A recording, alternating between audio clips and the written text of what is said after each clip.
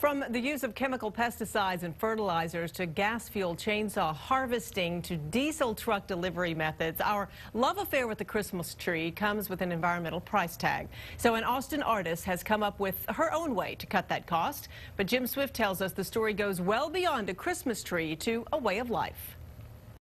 Tucked away in a corner of a room in Barbara Irwin's house is a portrait taken of her when she was a child.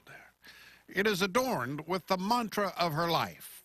Sometimes I feel like a found object. I have finally found myself. This is who I am, and this is what I do, and this is what I love. I have found myself, and I found my true calling. Barbara Irwin's true calling is the configuration of all manner of stuff that someone else has thrown away into art, born of a busy imagination and a delicate touch. You don't necessarily have to throw away something.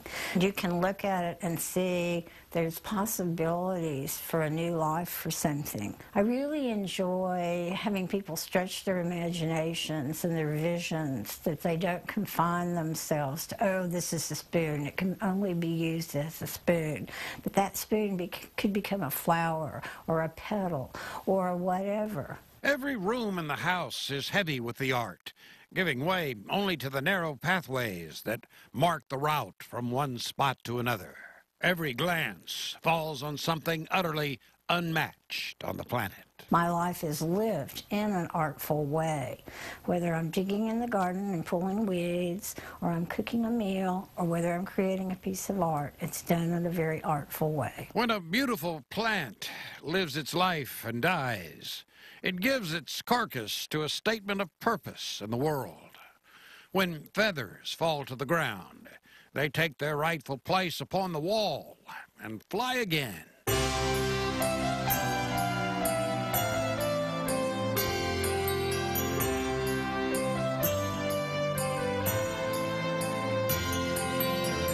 So it should come as no surprise that when Christmas rolls around, Barbara Irwin hauls out the same Christmas tree she first bought some seven years ago and adorns its now bare bones with vintage ornaments. This is its natural beauty. You know, some people are going to say, what?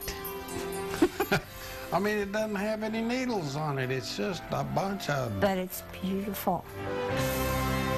Christmas in an artful life. Jim Swift. KXAN News.